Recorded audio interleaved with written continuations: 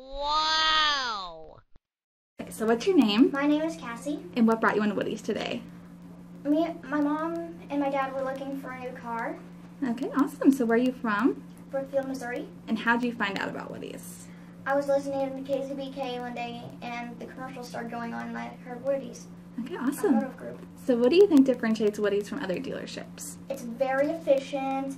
It gets you right on task, and makes sure make sure that you have to like say you have to go to something one day, and it'll make sure you get there on time. And they have a range of options of prices.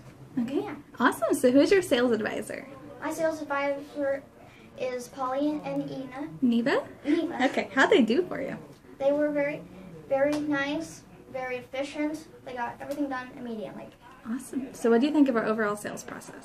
Your overall sales process is very well. I like how you get stuff on task.